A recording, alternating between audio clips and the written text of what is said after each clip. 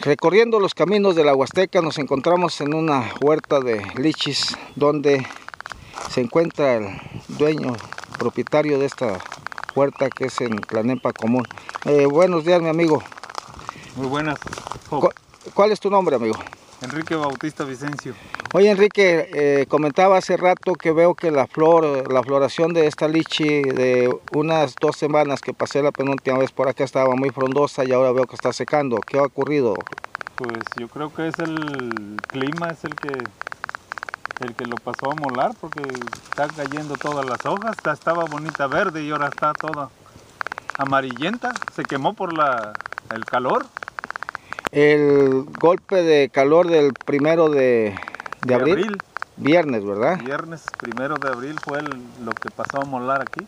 Me comentaba un compañero tuyo que fueron 48 grados. Sí, pues yo creo que sí, porque estaba el calor insoportable.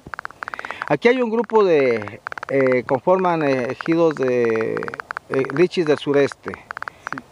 Son peque- pequeños propietarios. Ajá. Estamos ahí, estamos en un grupo y pues la verdad, cada quien después del grupo, cada quien jaló por su lado.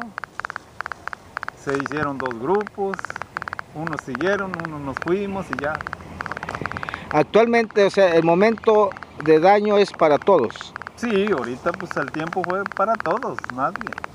Eh, de- ¿Cómo le riegan esta huerta? Por, eh, ¿Tiene sistema de riego? No, pues aquí padecemos de ese, de ese sistema porque la verdad esta planta requiere de Mucha agua. agua, humedad y pues no, no, no tenemos. ¿Cuál es el tratamiento que le dan ustedes Pues, para, la, produ- para que produzca? Pues ahorita por lo menos estamos esperando por lo de Dios, porque si viene bien el tiempo, hay producción y si no, no. Una hectárea de eh, cuántos árboles conlleva.